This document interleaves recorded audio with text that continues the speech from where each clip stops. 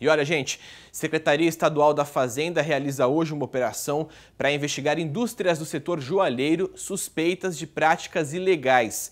A ação ocorre simultaneamente em 22 alvos espalhados em sete cidades, entre elas Rio Preto, que é para onde a gente vai agora falar ao vivo com a Joyce Cremonese. Joyce, quem são esses alvos? Bom dia. Bom dia, Casa Grande. Bom dia, todos que nos acompanham no SBT Interior. São empresas que estariam burlando né, o pagamento do imposto né, estadual, o ICMS, um dos principais impostos aqui do nosso estado. E esse valor, Casa Grande, pode chegar a 174 milhões de reais. Eu vou conversar com o delegado Dr. Rafael Ranali. Bom, doutor, como essas empresas estariam burlando né, o pagamento desse imposto? Bom dia. Bom dia a todos. É, essas empresas elas estariam enquadradas no Simples Nacional, em que a tributação é de 4,7% do valor do ICMS.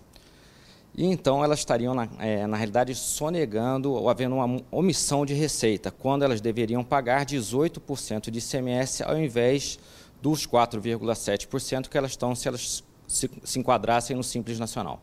Então, vocês realizaram em toda uma investigação e conseguiram identificar, vamos dizer assim, esse rombo né, no, na receita desse imposto? Justamente, por meio dos cruzamentos efetuados aqui pela regional, nós identificamos que haveria uma omissão de receita por parte dessas empresas. E o que acontece né, com o empresário que for pego sonegando esse imposto? Ele está sujeito à auditoria, né, à lavratura do auto de infração com as respectivas penalidades e a possível desenquadramento do Simples Nacional pessoal de casa entender, né? O ICMS ele é responsável, né, é, para quais benefícios, né, esse imposto traz para o nosso estado? É, é usado para a educação, né, para a saúde e para obras de infraestrutura no estado. Certo. A operação ela segue hoje durante todo o dia e quantas pessoas estão envolvidas? São aproximadamente 86 fiscais de renda e 42 policiais envolvidos na operação que deve tomar boa parte do dia. Tá ok? Obrigada, doutor, pelas in informações.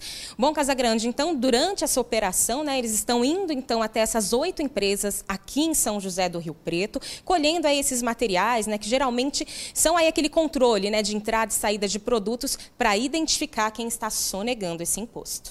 A gente fala tanto em corrupção na política, né? Mas outros meios aí também da a, a corrupção está envolvida, porque a partir do momento que a sonegação de imposto é feita, tendo contra as leis, é um ato também de corrupção por parte de empresários. Por isso, ações como essa são importantíssimas, são fundamentais. Aí vem aquela velha máxima, ah, mas eu sonego imposto porque a carga tributária é muito alta. Independentemente de ser alta ou não, gente, Ninguém tem autorização, ninguém tem o direito de querer sonegar o imposto. A gente pode discutir, por exemplo, a questão de uma reforma tributária, mas não adianta querer sonegar agora. Tem que esperar toda a mudança e cobrar dos órgãos responsáveis para que isso aconteça. Obrigado, viu, Joyce, pela participação ao vivo com a gente aqui no nosso SBT Interior.